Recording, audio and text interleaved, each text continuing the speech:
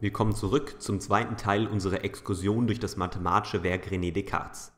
Heute soll es um Descartes grafische Lösung für kubische und quartische Gleichungen gehen. Ich werde seine Herangehensweise etwas anachronistisch, aber dafür umso natürlicher für die gegenwärtige mathematische Praxis und Notation darstellen. Die Systematik, das Ziel der grafischen Methode, kann wie folgt motiviert werden. Betrachten wir zunächst einmal quadratische Gleichungen, etwa x minus 6x plus 8 und das soll 0 sein, denn wäre dies auf der niedrigsten Abstraktionsstufe grafisch zu interpretieren als die Aufforderung, die Schnittstellen zwischen einer Parabel und einer Geraden, nämlich y gleich 0 zu finden. Eine andere Interpretation wäre, dass der Schnitt einer Normalparabel mit einer Gerade der Steigung 6 und Verschiebungskonstante minus 8 gesucht ist. Hier sind die Lösungen, wie im linken Bild, ebenfalls 2 und 4. Bei diesen trivialen Zerlegungen sind wir die Parabel noch nicht losgeworden. Man könnte aber argumentieren, dass die rechte Interpretation grafisch eleganter ist, weil sie das Problem in den Schnitt zweier einfacherer Gebilde, namentlich eine Normalparabel und eine Gerade zerlegt, statt eine allgemeine Parabel mit einer Geraden zu betrachten. Da in der Schule insbesondere Parabelschablonen verwendet werden, könnte eben die rechte Seite auch leichter gezeichnet werden, da so eine Gerade mit Geodreieck recht einfach in ein Koordinatensystem zu zeichnen ist und eine Normalparabel in den Ursprung eben mit diesem Hilfsmittel auch leicht zu realisieren ist.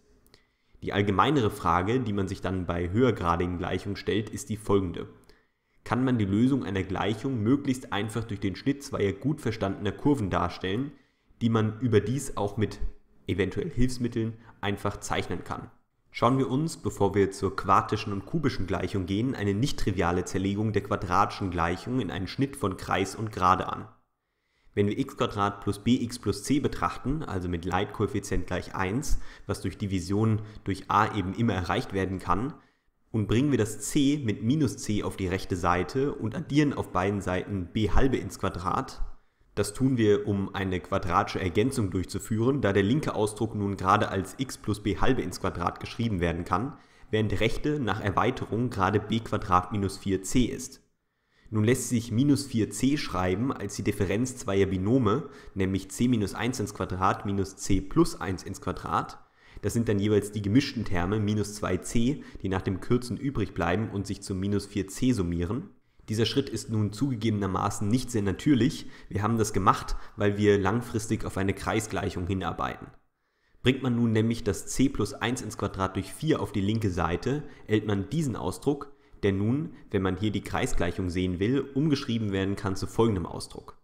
Das r steht jetzt kurz für b plus c minus 1 ins Quadrat durch 4 und statt eines y im zweiten Quadrat können wir hier aber nur eine 0 schreiben, ansonsten würden wir den Ausdruck wirklich verändern. Das ist aber nicht schlimm, denn diese Gleichung kann man nun wunderbar interpretieren als den Schnitt eines Kreises mit der Geraden y gleich 0. Im Koordinatensystem ist das die Abzisse. Dieser Kreis wird nach Thomas Carlyle auch Carlyle-Kreis genannt. Wenn man sich nochmal vergegenwärtigt, dass r gerade b plus c minus 1 ins Quadrat durch 4 ist, wird man durch kurzes Nachrechnen einsehen, dass zwei Punkte auf diesem Kreis sehr leicht angegeben werden können. Das ist einmal der Punkt 01 und einmal minus bc. Um das zu verifizieren, kann man das Video hier gerne kurz anhalten. Das führt dann zu folgendem grafischen Lösungsverfahren. Angenommen, wir haben eine quadratische Gleichung vorliegen, sagen wir x minus 6x plus 8 ist gleich 0. Im ersten Schritt nimmt man die beiden Punkte 0,1 und minus bc, die immer auf dem Kreis liegen, und zeichnet diese in ein kartesisches Koordinatensystem. Das ist also hier 0,1 und der Punkt 6,8. Im zweiten Schritt verbindet man AB und betrachtet den Mittelpunkt M dieser Strecke. Nun holt man seinen Zirkel raus, sticht in M ein und zieht einen Kreis mit Radius AM bzw. BM. M ist ja der Mittelpunkt der Strecke AB, sodass diese beiden Längen gleich sind. Wir haben auf der Folie zuvor gesehen, dass die Lösung gerade der Schnitt dieses Kreises mit y gleich 0, also der Gerade der Abzisse ist, was hier die Lösungen 2 und 4 ergibt. Gut, kommen wir nach dieser Motivation also zur grafischen Lösung der quartischen Gleichung von René Descartes. Diese werden wir zerlegen in einen Schnitt einer Parabel und eines Kreises.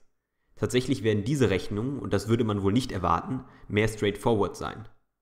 Zu Descartes Zeiten war bekannt, dass man eine allgemeine quartische Gleichung der Form x hoch 4 plus bx hoch 3 plus cx plus dx plus e über die lineare Transformation x minus b durch 4 in eine reduzierte Form der Gestalt x hoch 4 plus px plus qx plus r transformieren kann, also so, dass der kubische Term gerade rausfällt.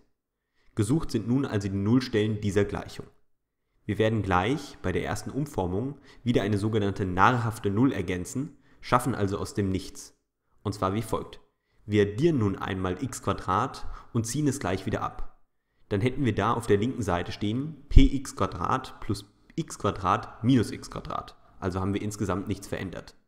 Faktorisiert man dann, erhält man p minus 1x plus x Wenn man das wieder ausmultipliziert, steht dort eben px minus x plus x also eigentlich nur px sodass insgesamt nichts verändert wurde.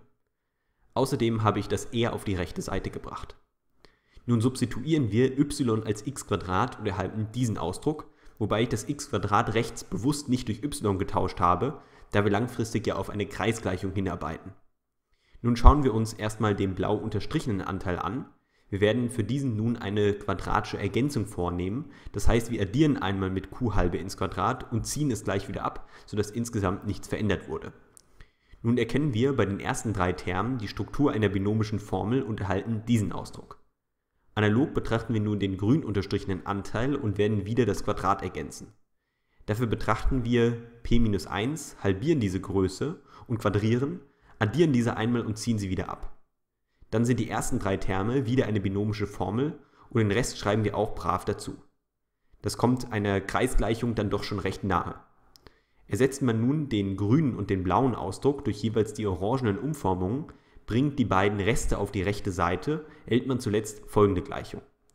Statt der Pluszeichen könnte man hier wieder ein doppeltes Minus nehmen, aber das lasse ich hier mal so stehen. Nun dürfen wir unsere Setzung mit y ist x nicht vergessen und können dann dieses entstehende Gleichungssystem wieder als einen Schnitt zweier Kurven, hier eines Kreises und der Normalparabel betrachten. Schauen wir uns auch hier ein Beispiel an. Gegeben sei die bereits reduzierte quartische Gleichung x hoch 4 plus 15x plus 10x plus 24 gleich 0.